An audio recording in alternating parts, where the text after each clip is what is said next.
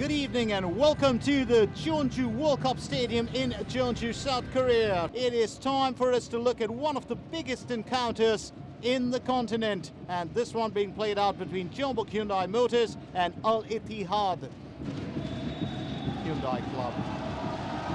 Kick-off the home side starting off proceedings in the first half. Do remember that Jeonbuk Hyundai came away with an advantage, three away goals to be precise, having beaten Ittihad in their own backyard 3-2. Playing away to Al Sadd after they had a royal rumble of sorts at the Suwon World Cup Stadium. Jeonbuk Hyundai, a chance here to score, but it's taken away. It almost seemed so close. The Ittihad defence, alert as ever.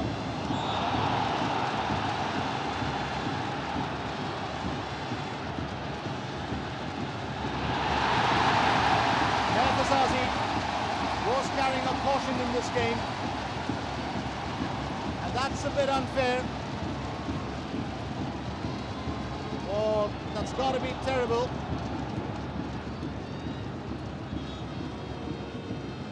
Hazazi livid. And we've got Cho Sung-hwan who's down on the field. That is the captain of Jeonbuk Hyundai. Cho Sung-hwan also gets a yellow card.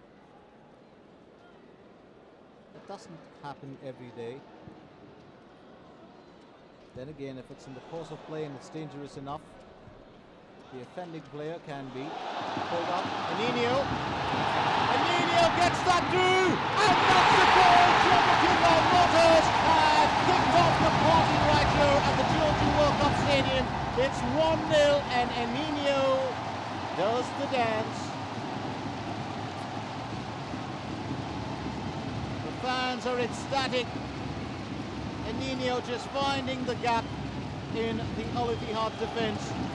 Was looking for an opportunity, pounced on it. Hamad Al Muntashri did try to stop him. All he had to do was beat Mabruk Zaid, and he did manage that. Picks that out. Osama Al Harbi fails to stop him. Eninho with his left foot is completing what he started. So 1-0, Jeonbuk Hyundai. So Eninho is served up another corner.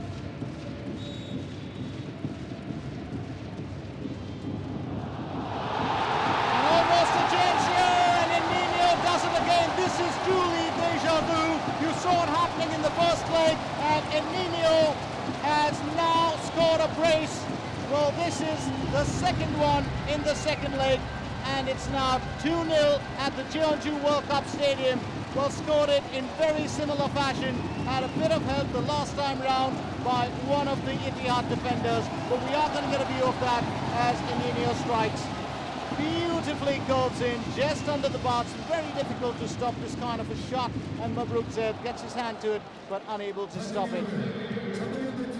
Well, that is a fantastic effort. So, Eninho strike two in today's game. 2-0, Jeonbuk Hyundai Motors.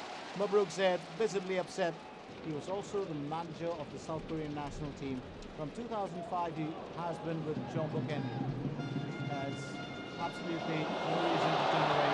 Oh, that is a goal for Al Ittihad, and you talk about success. Wendell finally finding a way through. It's now 2-1, Jeonbuk Hyundai. Al Ittihad back in the running.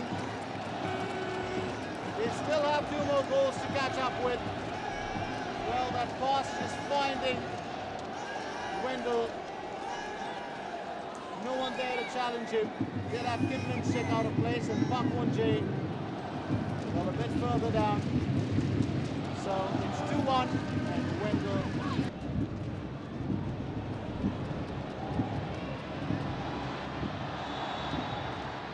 that's a throw in judo. Called the grapple and turn him over.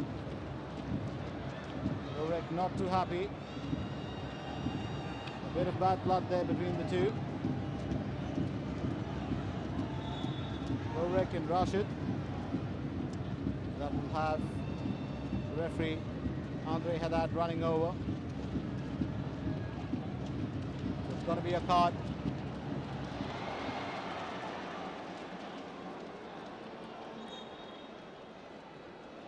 And that's the second card for Lovrek, which means it's a red card.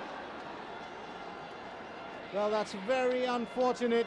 So it's Jeonbuk Hyundai Motors down to 10 men as well.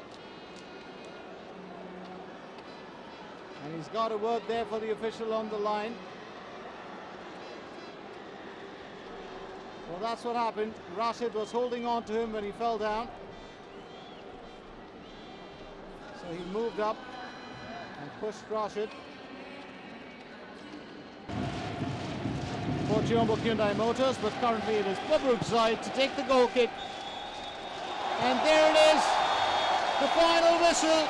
Jeonbuk Hyundai Motors win the second leg of the semi-final as well against Al Ittihad.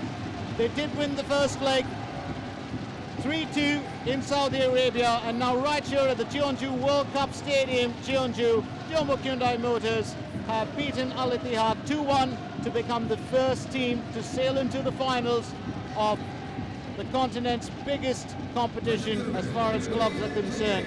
So the AFC Champions League 2011 first finalists will be Jeonbuk Hyundai Motors.